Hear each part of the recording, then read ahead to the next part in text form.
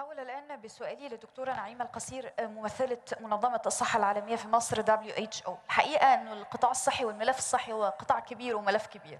وكما جاء بالتقرير بداية من ربط القطاع الصحي المصري بالحوكمة آه، مرورا بتحسن في الأداء العام للنظام الصحي توطين الصناعات الطبية والدوائية. هناك أيضا ما زالت آه، بعض التحديات التي تواجه قطاع الصحة المصري. لازم أستغل أيضا وجود حضرتك وأسألك عن وجه العالم الذي تغير بعد آه، جائحة كورونا. وربما آه، بقى هناك أولويات إنفاق مش مختلفة ولكن تم وضع على رأس الأولويات الإنفاق في القطاع الصحي. خليني أسأل حضرتك أيضا عن رصد حضراتكم لتلك الجهود والسيناريوهات اللي مر بها العالم خلال الجائحة. الحقيقة في شقين لحضرتك اتفضل بسم الله الرحمن الرحيم صباح الخير فخامة السيد رئيس جمهورية مصر العربية عبد الفتاح السيسي الحضور الكريم أصحاب السعادة والمعالي. يشرفني اليوم كوني بنت من المنطقة أن أكون متواجدة معكم بمناسبة إطلاق التقرير التنمية البشرية في مصر بعنوان التنمية حق للجميع مسيرة والمسار. بالبداية ردا على سؤال حضرتك نبارك جهود كمنظمة الصحة العالمية والأمم المتحدة نبارك جهود جمهورية مصر العربية وجهود فخامتك من أجل إعطاء الأولوية القصوى للصحة معالي وزيرة الصحة ويران. من خلال توثيق أواصر التعاون مع جميع الجهات وخاصة للقطاع الصحي والتنموي بالنسبة للقطاع الصحي معالي وزيرة الصحة دكتورة هالة زايد والقطاع التنموي برئاسة دولة رئيس الوزراء. كيف تعاملنا مع الجائحة؟ كأكبر تحدي صحي يواجهه العالم في العصر الحديث ألا هو جائحة كوفيد؟ لقد أثبتت الجائحة وما فرضته من تحديات. أهمية التضامن والتعاون والتكاتف على جميع المستويات. بين ليس فقط أجهزة الدولة ومصر نموذج ولكن كذلك بين العلماء والمجتمع المدني والقطاع الخاص وخاصة فئة الشباب. جمهورية مصر العربية أثبتت. كذلك أثبتت لنا الجائحة أن علينا مسؤولية مشتركة ومحاسبية. على عاتق ليس فقط الدول ولكن الأفراد والاسر والمجتمعات والقطاع الأهلي والقطاع الخاص. لمجابهة أي طارئة صحية. اليوم كوفيد وإن شاء الله نكون قادرين أن نوقف جوائح أخرى. كانت مصر من أوائل الدول وسباقة تعاونت على مستوى القطري داخل البلد على مستوى الإقليمي والدولي. ومصر كانت سباقة بزيارات معالي وزيرة الصحة بتوجيه من فخامة الرئيس إلى دول كثيرة من أجل بيان التعاضد والتعاون. نثمن كمنظمة الصحة العالمية والأمم المتحدة لحماية الصحة والأمن الصحي. الأمن الصحي أمن قومي أمن إقليمي أمن دولي.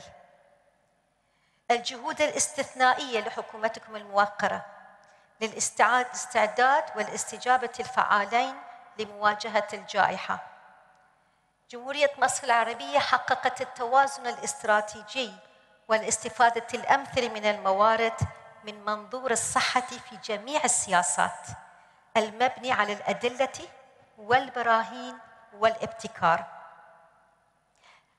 وضمن هذا النهج تم استمرار جميع الخدمات دون الاستثناء بما فيها التقدم والتوسع الحصل بالنسبة لتوفير التأمين الصحي الشامل للجميع وإرساء مبدأ عدم إخفال أحد في جمهورية مصر العربية استثمرت في الصحة والمردود كان المواصلة في تقديم الخدمات مقارنة مع عديد من الدول على مستوى الإقليم وعلى مستوى العالم.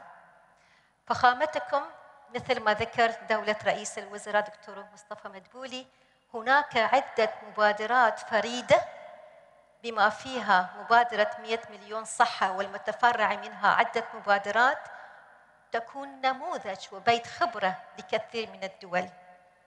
إن الاستثمار في الصحة وليس فقط تمويل للعلاج ليس مستشفيات وليس عيادات ودواء الاستثمار صح في الصحة مثل مبادرة 100 مليون صحة للكشف المبكر والعلاج وبالأهم الوقاية وتعزيز الصحة.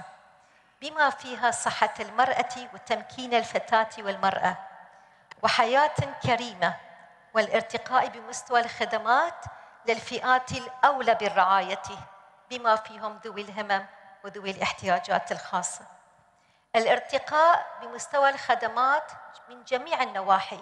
أستاذة سألتني عن الصحة أنا عاصرت من 2010 كنت معكم 11 إلى 14 وحاليا رجعت وأتشرف أن أكون ممثل المنظمة ففي خلال أقل من عقد هناك نجاحات بالرصد. دكتور خالد بنعطيك البيانات الصحة على مستوى الإداريات. مثالا يحتذى به في القضايا على فيروس سي مثلا 2010 لما استلمت كمساعد مدير وبالإنابة لجمهورية مصر العربية وأقارن اليوم. شهدت على مدى ثلاث سنوات 2014 إن أحنا كانت مصر من أو أكثر دولا عندهم فيروس سي والناتج الكبد الوبائي. 23 مركز علاجي متخصص بما فيهم نقل زراعة الكبد. أين نحن اليوم؟ عززنا الصحة وعملنا بنهج الصحة في جميع السياسات.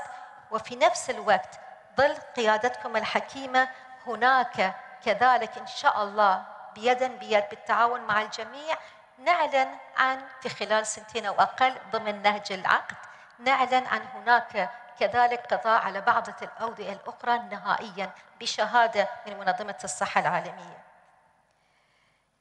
إن قيادتكم استفدتوا من التحول الرقمي مبكرا فخامتك. مبكرا ماذا أعني؟ قبل 2018 أطلقتم. الكشف المبكر ليس فقط لفيروس سي ولكن للأمراض المزمنة والتي تعاني منها مصر كثيرا. السمنة ضغط الدم السرطان.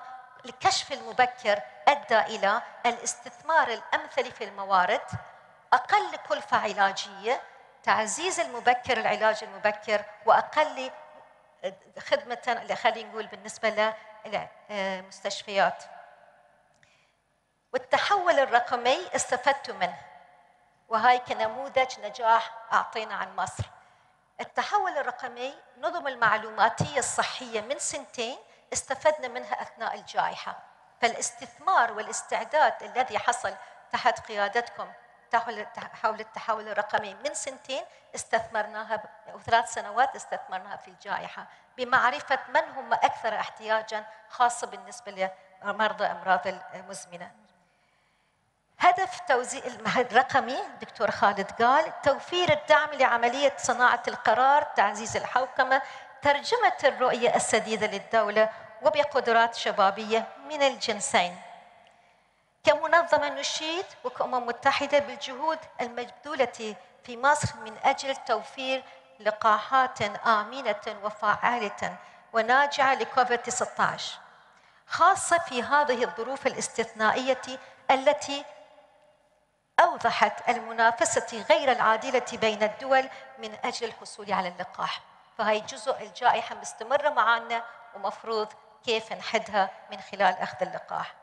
لذا نعمل مع حكومتكم الموقرة من خلال وزارة الصحة والسكان هيئة الدواء المصرية هيئة الشراء الموحد والقطاع الخاص. ومن هنا أنادي للمؤسسات المعنية بالمسؤولية المجتمعية المشاركة من أجل ضمان توفير كميات كافية من اللقاحات. وأريد أن أضيف وتوطين الصناعات الدوائية والمستلزمات الطبية الآمنة لمصر وللمنطقة. ليس فقط لمكافحة الجائحة ولكن كذلك لمكافحة الأمراض وعلاجها. والعمل على تعزيز السلوكيات الصحية للأفراد فالأسر علينا مسؤولية.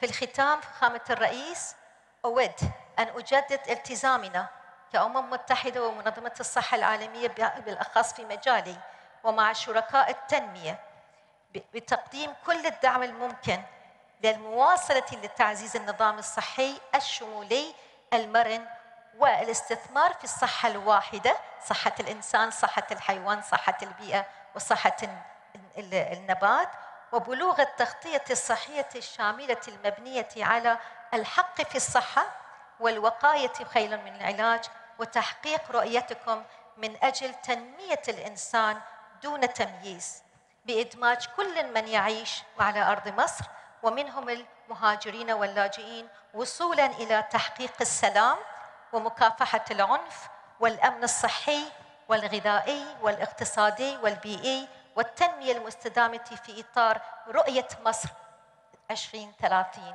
شاء الله نكون معكم ولأمة الدنيا السلام والنماء ومن أرض الخلود لكم السلام. شكرا. أشكرك دكتورة